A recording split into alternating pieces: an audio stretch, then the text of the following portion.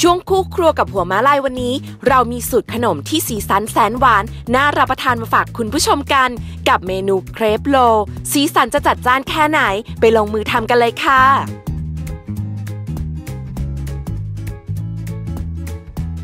เริ่มจากล่อนแป้งสาลีทำขนมปังกับเกลือป่น และวานิลาชนิดผงเข้าด้วยกัน เติมน้ำตาลทรายลงในแป้ง เคล้าให้เข้ากัน ผสมไข่ไก่กับนมสด ในส่วนผสมแป้งที่พักไว้ คนผสมตะกร้อมือให้เข้ากัน แล้วเติมเนยสดชนิดเค็มละลาย คนผสมให้เข้ากัน เมื่อเข้ากันแล้วให้แบ่งแป้งเครปออก แล้วนำไปผสมกับสีผสมอาหารที่เตรียมไว้ จากนั้นอุ่นกระทะพัตินัมเชฟพลัสทรงตื้นตราหัวม้าลายทาด้วยน้ำมันให้ทั่ว ตักส่วนผสมแป้งเครป หย่อนลงกระทะเป็นแผ่นกลมบาง รอจนเครปสุก ตักขึ้นพักไว้ค่ะ ขั้นตอนต่อมาเราจะมาทำไส้เครปโรลกันนะคะ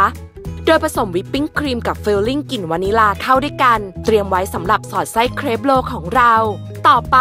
เราจะมาเริ่มทำซอสสตรอเบอรี่กันค่ะ เริ่มจากผสมสตรอเบอรี่กับน้ำตาลทราย ในกระทะ Platinum Safe Plus ทรงตื้นตราหัวม้าลาย ตั้งไฟคนผสมจนเดือด เติมแป้งข้าวโพดที่ละลายน้ำต้มสุกปิดไฟ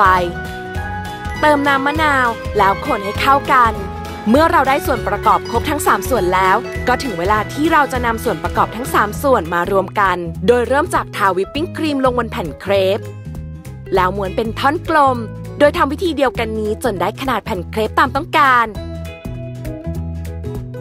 เสร็จแล้วห่อด้วยแผ่นพลาสติกนำเข้าตู้เย็น แช่จนขนมทรงตัวดี หั่นเป็นชิ้น แต่งด้วยซอสสตรอเบอรี่ ก็พร้อมรับประทานแล้วค่ะ